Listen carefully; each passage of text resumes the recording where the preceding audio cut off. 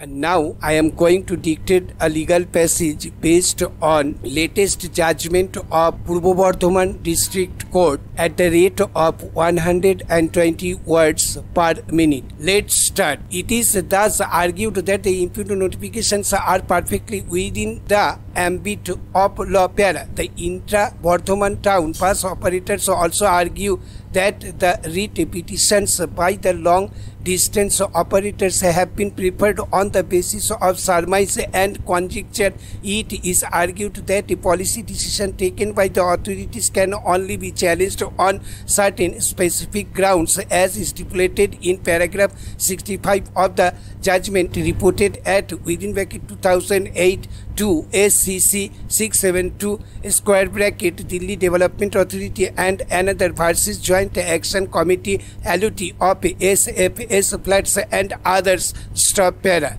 It is submitted that the relevant notifications of 2012 or 2014 refer to a report by experts from the IIT Kharagpur who indicated the mode of regulating traffic for reducing the extreme congestion in the town of Burdwan. Accordingly, the said notifications were sought to be implemented to which there cannot be any objection from any quarter. It is further argued that the section quoted in the notifications amply conferred power on the authorities to take such action para. Since the district magistrate is the concerned authority under Rule 182 of the MV rules, it is argued that the notification of 2014 and the notices for implementation of the same ought not to be reopened. Under Article 226 of the Constitution of India, there has been a series of meetings between the stakeholders upon which the decisions have been taken as such the same cannot be deviated from in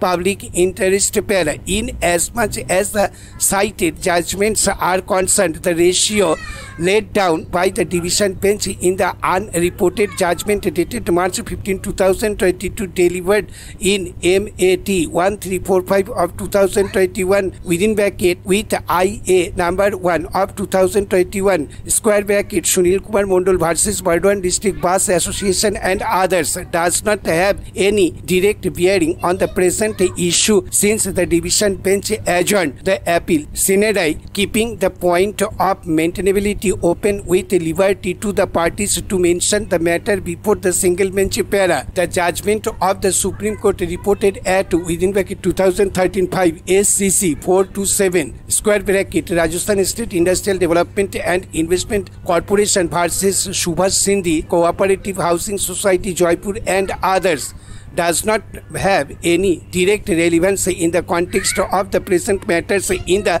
said judgment any notice circular guidelines etc which run contrary to statutory laws were held not to be enforceable within the zone of consideration of Article 226 and 32 of the Constitution of India. However, in the present case, there is no such statutory violation to attract the jurisdiction of this court under Article 226 of the Constitution of India. The coordinate bench in New Punjab Calcutta Transport Company within bracket private limited versus Commissioner of Police Calcutta reported at 66 CWN 1029 small i stipulates that section 74 of the MV Act does not touch on the fundamental rights of the petitioners to carry on business and the satisfaction enjoined therein is not arbitrary in nature. Such restrictions, it was held, cannot be imposed merely at the whim of authorities but may only be done either in the interest of public safety or convenience or regard being had to the nature of any road or bridge. In the present case, public interest and safety were taken into consideration while passing the notification in question. As such, the principle laid down in the said judgment validates the stand of the respondent authority superior. In TB, Ibrahim versus the Regional Transport Authority Tanjore reported at AIR 1953 SC 79, the Supreme Court observed that there is no fundamental right in a citizen to carry on business wherever he chooses and his right must be subject to any reasonable restriction imposed by the executive authority in the interest of public convenience. Stop. Thank you.